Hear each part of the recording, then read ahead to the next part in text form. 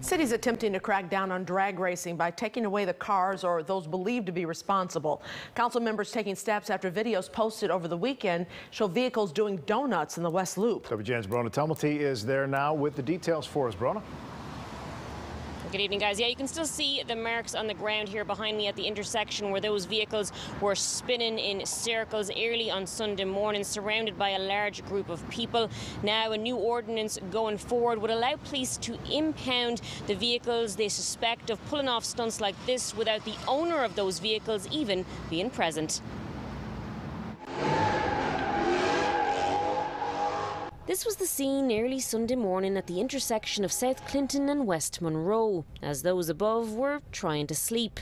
I heard a lot of screeching. It was like real loud. It woke me out of my sleep. And this lady, who didn't want to be identified, lives nearby and says the noise was intense prior to police trying to clear the crowd. I've been thinking of moving from this area anyway because it's getting kind of it's getting kind of crazy around here too, so I'm looking to move The officers managed to disperse those gathered, only for things to later rev up again about a mile away. Around 4.20am in the 1100 block of South Canal Street, police responded to reports of drag racing and fireworks being thrown from a parking garage. An officer was struck by one of them, prompting the arrest of a 17-year-old now facing a felony charge of aggravated assault.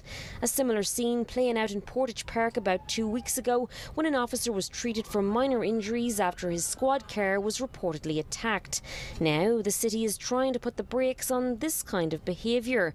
The Pedestrian and Traffic Safety Committee greenlighting an ordinance today which would allow police to impound vehicles they believe have been involved in drifting or drag racing.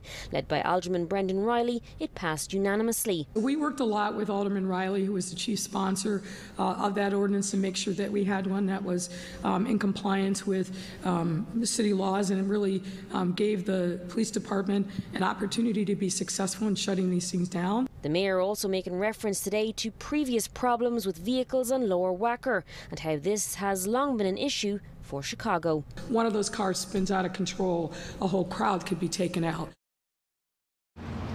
Now, we did reach out to Alderman Reilly today for an interview. He was not available to do that due to a packed schedule. This ordinance now goes to a full City Council vote on Wednesday. We're live in the loop. Brónagh Tumulty, WGN News.